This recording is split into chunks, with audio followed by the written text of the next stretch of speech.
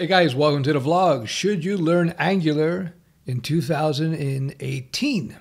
I was reading a couple of articles in the last couple of days from some Angular developers talking about their experiences with the framework. In a nutshell, they were really complaining quite a bit about it. Apparently, it's a uh, it's a big mess.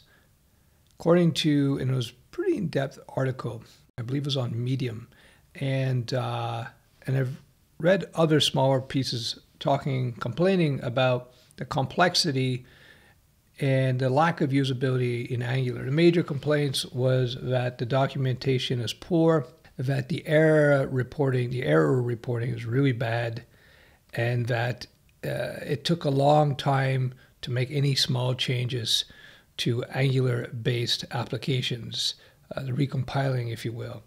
So one of the questions I always get from people should I learn this? Should I learn that? People know my channel, know my general prognosis is, my general advice is to learn your foundations and then learn whatever frameworks and libraries that make sense given the type of work that you're doing.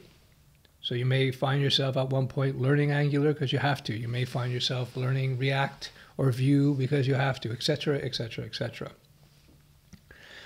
Generally speaking, though, the mood, I put my finger to the nerd air and the nerds out there are saying mm, Angular not so good, and I would be steering away from Angular. Although I've never been a big fan of it when I took a look at it, and uh, it continues to uh, live up to or live down to my expectations of the framework.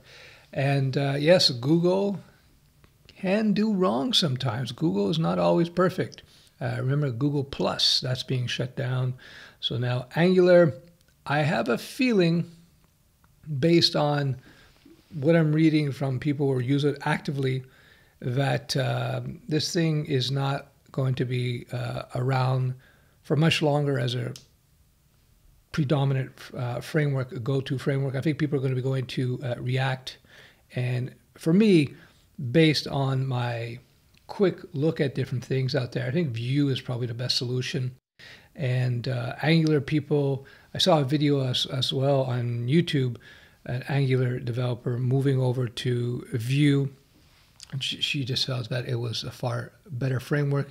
Again, when you have very complex frameworks and it becomes uh, difficult to work with them, you're going to see that uh, those frameworks will go away. That's why I'm not a framework teacher, generally speaking. When jQuery was all the rage, as an example, years ago, and uh, well, jQuery's library, but I was still preaching everybody should learn vanilla JavaScript because libraries come and go. I've seen it over and over again over the last 20 years. And so even now, Bootstrap, even though it's still widely used and something you're probably going to have to learn at least on a basic level at some point, depending on the type of work that you do. Once again, again, I think that's going to fade as well over time as the uh, the more advanced features of CSS3 comes out, Flexbox and Grid, and uh, anything that's native, anything that's native to a particular language uh, will always beat out some sort of framework that sits on top of it. So uh, keep that in mind as a general rule. One of the things I try to do on this channel is to give you the perspective of software development, coding, web design, uh, freelancing, you know, to a certain extent, being an entrepreneur from real world perspective, rather than trying to teach you the hottest framework today or the hottest library today. Why? Because there's 10,000 people that you can go and learn the basics of React or the basics of Vue or the basics of uh, Laravel or whatever Django, whatever frameworks. I'm exaggerating, it's not 10,000, but there's, a, there's enough out there. And once you have your fundamentals, you really don't need tutorials because you just go to the site you know, if you want to learn Vue and you understand your HTML, your CSS, your JavaScript well, you understand HTTP and so on and so forth, those fundamentals, to learn Vue, you don't really need a course, a tutorial.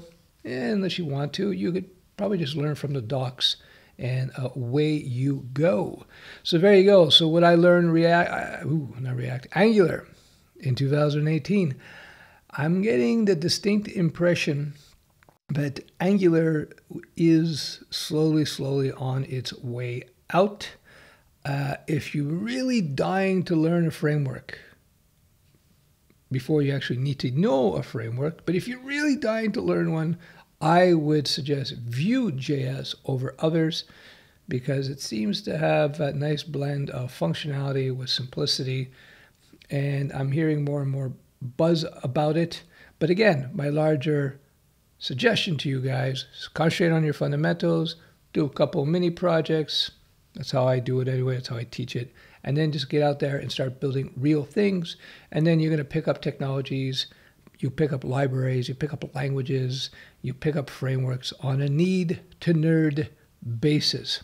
If you follow this basic principle that I outline, then your life of the of a developer as a developer rather will be far more productive and far more profitable and you'll be sending me coffee money in appreciation for saving you a huge amount of headaches in a huge amount of time.